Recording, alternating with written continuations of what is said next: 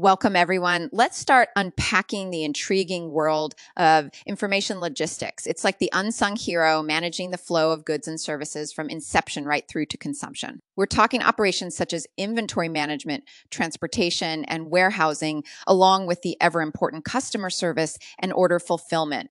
Now imagine putting all these tasks into overdrive with it tools the resulting superpower, increased supply chain visibility, efficiency levels that are off the charts, cost cuts, and improved customer service. Moving on, let's dissect how these at Masters operate.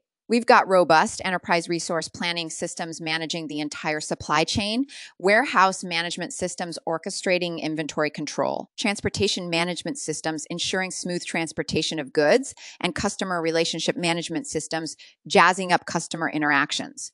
The bottom line information logistics powered by these IT tools isn't just pivotal, but vital for businesses yearning to stay competitive. It's not any magic trick, but the real secret sauce to success in logistics management in the competitive arena we call the market.